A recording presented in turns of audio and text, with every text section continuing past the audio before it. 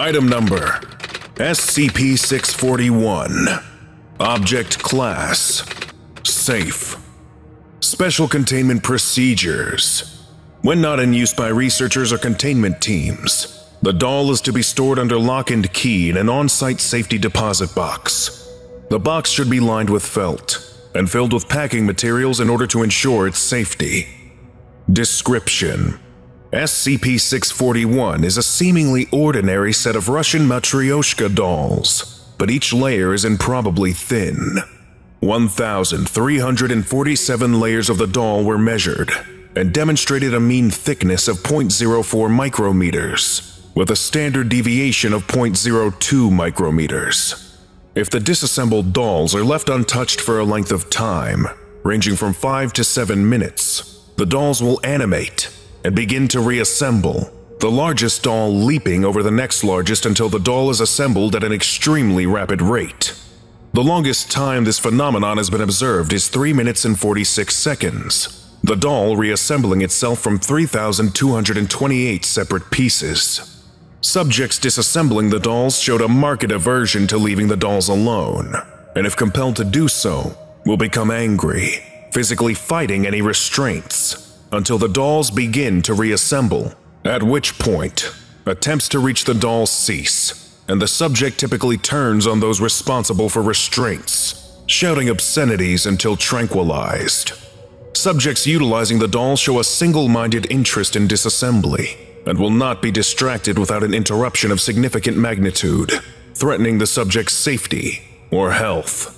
Afterwards, the subjects were called disassembling SCP-641, but exhibit nothing more than mild annoyance at most. Document 641-1 This document is the transcript of Dr. Frederick Hayden's comments upon utilization of the object.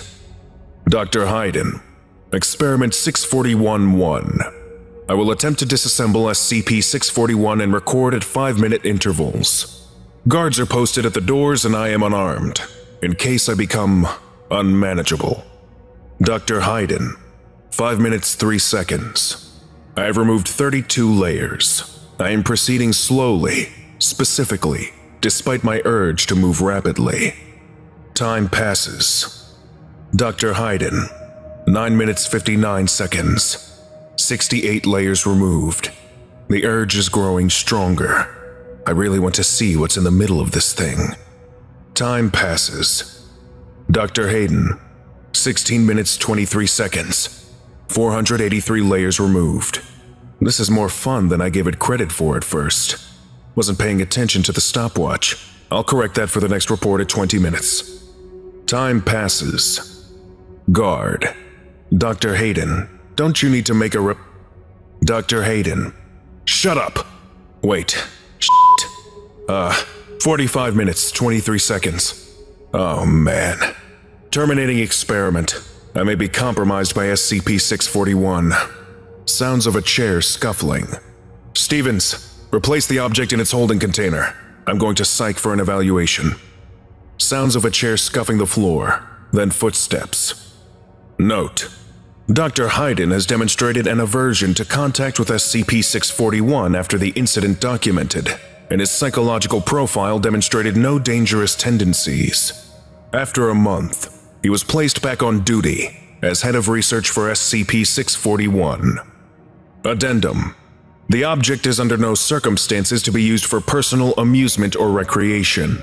Any personnel seen improperly utilizing SCP-641 will be reprimanded, and a note placed on their personnel file pending transfer to another project. Any experiments with the object are to be performed with D-Class personnel, whose medical history shows no alcohol or narcotics abuse, and whose psychological profile shows no predilection to addiction. If the object needs to be neutralized to prevent capture, current research indicates that a hammer, or tightly closed fist, will do. Notes This object shows potential in pacification of dangerous humanoid SCPs. Research into how the effect is achieved will continue.